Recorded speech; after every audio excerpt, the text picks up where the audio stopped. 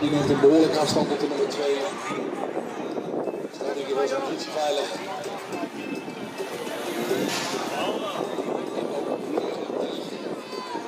De starting is naar beneden. Oh, spannend. Hele goede start van nummer 106. Tim van Brussel.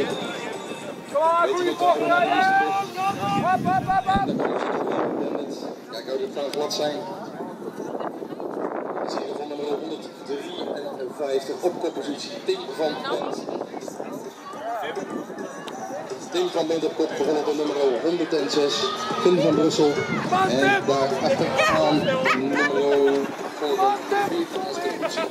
Jens Dijkmans.